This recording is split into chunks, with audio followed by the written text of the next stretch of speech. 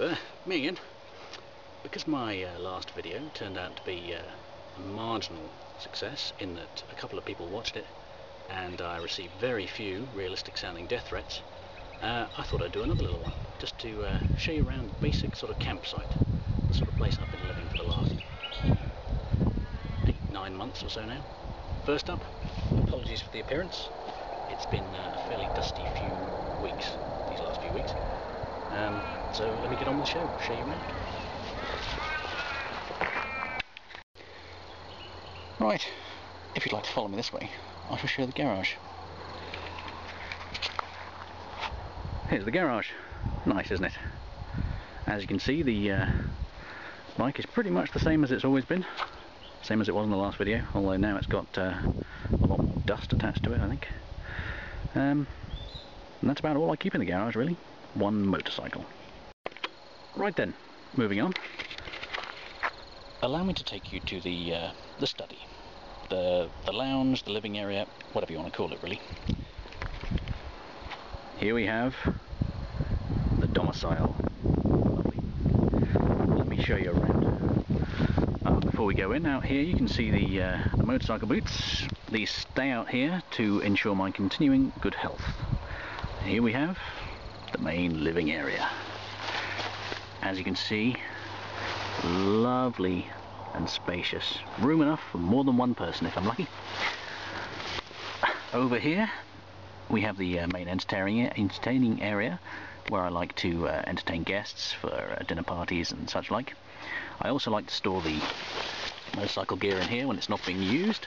Also the war room where I plan where I'm going. My map here, looking a little bit worse for wear. Lighting wise, we've got the head torch, that's about it. Daylight as well is always useful. Um, entertainment wise, we've got uh, a little MP3 player here with about 200 songs on that you get really, really sick of after about three months.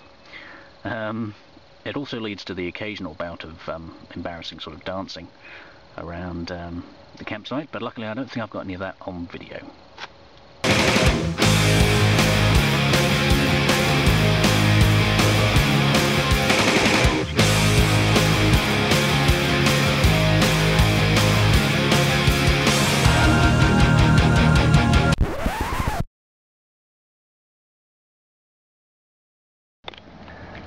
Obviously uh, as well as the old uh, MP3 player we've got uh, the ever valuable books. Uh, nice intelligent sounding one here to make me look clever for this video.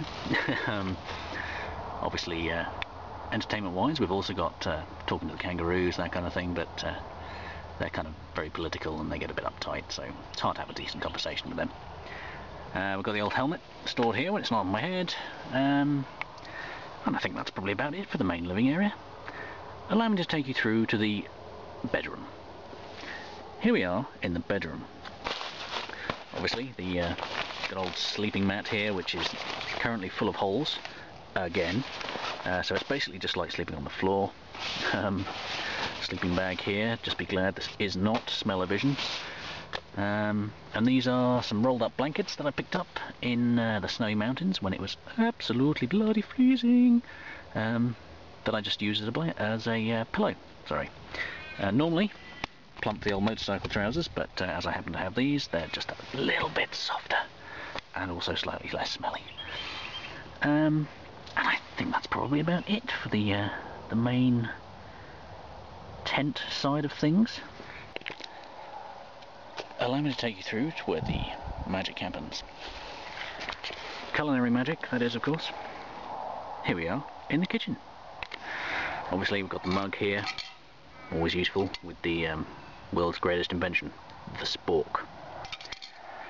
Cooker, pretty standard, unless I can light a fire I use this, and one very dented billy can, as it uh, happens to be unlucky enough to take the brunt of most crashes. Um, with that uh, Michelin-starred kitchen, you're able to cook up such delights as cardboard flavoured rice, um, cardboard flavoured pasta, um, cardboard flavoured porridge,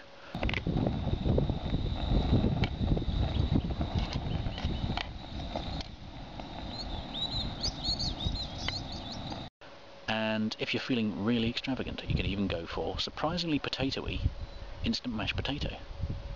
Jamie Oliver would be proud. Um, and that's about it really. Nothing much else to show you. There's not a great deal else involved in uh, camping while you're travelling around on a motorcycle. Um, I'm sure other people would do it other ways, but um, this is how I ended up doing it. Um, that's about it really, yeah. Wipe your feet on the way out, won't you?